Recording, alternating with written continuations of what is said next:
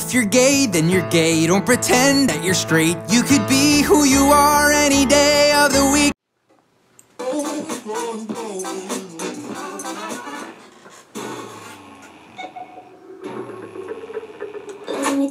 People in the world. We want to show kind of girl.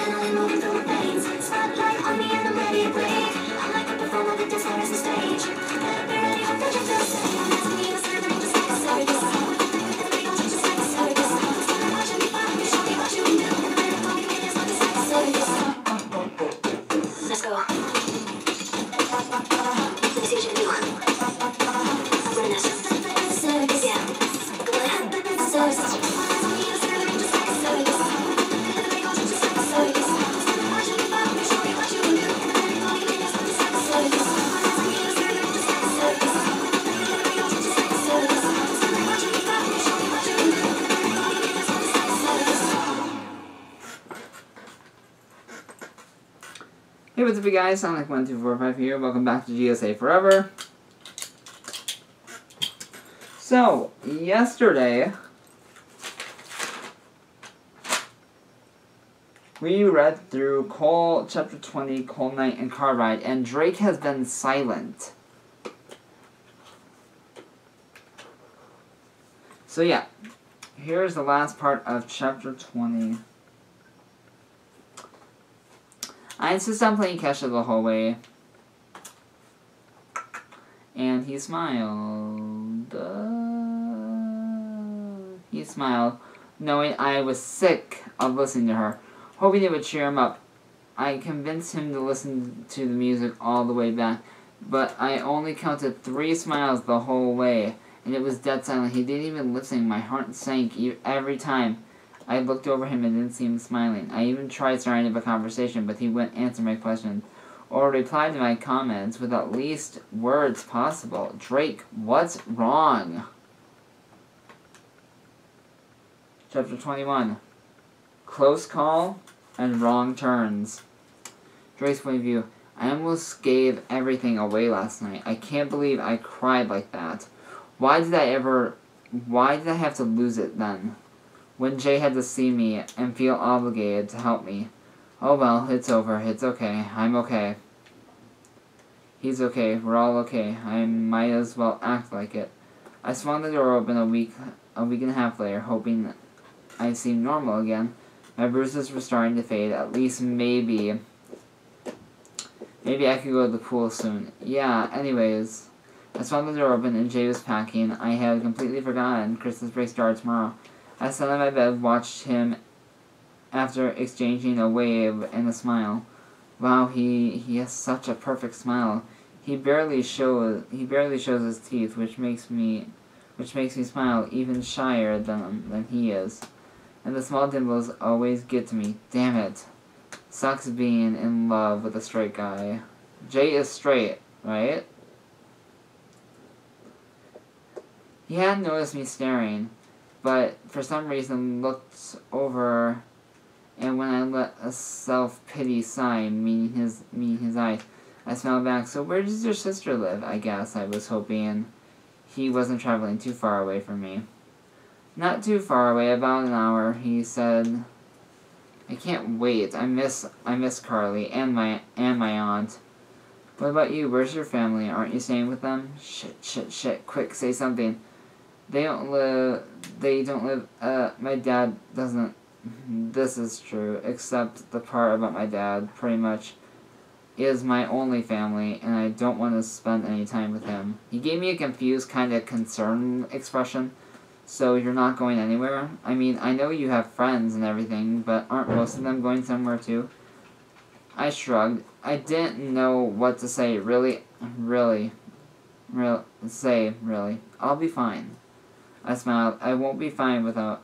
I won't be fine. It won't. I won't be fine without you. Well, if you want to stay at my place, I have a room for you. Plus, I'm sure my sister and aunt would love to meet you. He said, be, began taking clothes out of the dresser and piled them next to his bag. I knew he mentioned me in his letter to his sister. He told his aunt about me too. I think my heart nearly stopped. Seriously? I can't help but start laughing in excitement. That'd be that'd be fan frickin' tastic. I didn't even care that he laughed the whole frickin' fan fr- fan frickin' tastic thing. I was too excited. We were gonna have a blast. I prom I promised him through quiet laughs. You're the best, I said, laying back, sighing, happily sighing.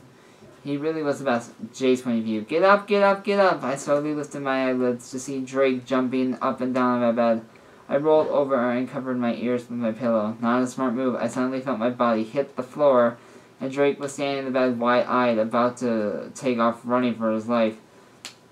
That's the face he made when I when he did something accident accidentally on purpose. Drake, I couldn't stop laughing. You look I'm pointing you look like I'm pointing a knife at you. I was cracked up and I walked over offering a hand and laughing too.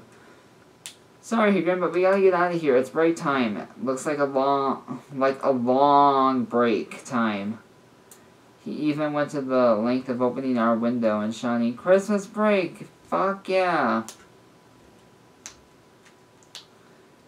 He had to tell me to calm down from laughing too hard. We decided to take Drake's car. Actually, Drake made the decision, and I guess I let him. He said that we wanted to drive together, so it doesn't get so he doesn't get lost. I guess I, I think he just loves his car too much to leave it behind.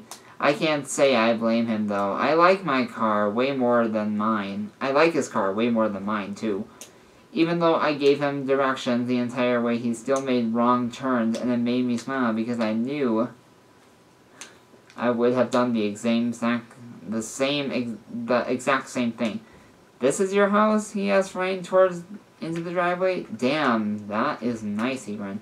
I tried. I mean, it's a decent home, I guess. I smiled back at him, and he was staring in awe. He snapped out of his gaze when I slid out the car and grabbed my stuff from the trunk. I opened the back and laughed, remembering that Drake packed a massive pile of stuff. Drake, you pack like a girl, I said, laughing a little. He didn't respond, but smiled real big. I sometimes think he's like it. I think he likes it when people tease him. Or he's at least, or he at least likes the attention. I threw my bag over my arm, and Drake threw two bags over both his arms, and carried two more in his arm, two more in his arms and he had dropped the keys in his attempt to carry the entire luggage, so I grabbed it off the ground, looked at the car, locked the car, and headed towards the door.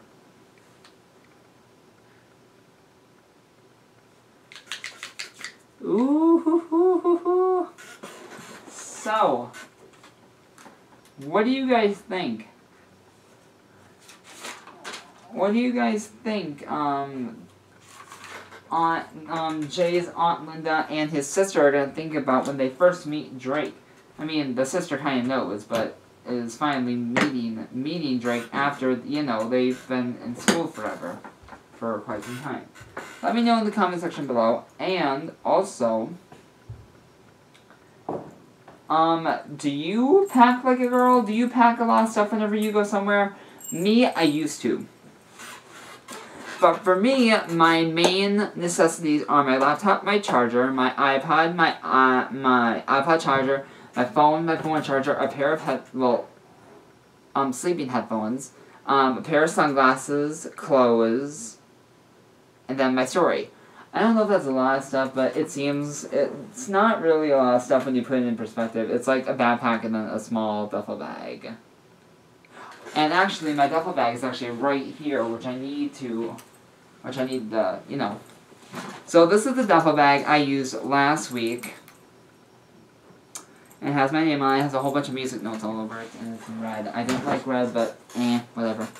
But yeah, um, that's the duffel bag I used last week, Friday, when I went to, when I went to back to where I, uh, where I originally lived.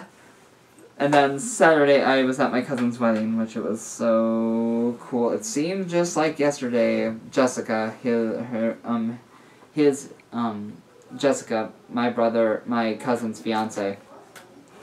Jessica is the is the bride to be. And she, it seems just like yesterday, she was just joining the family.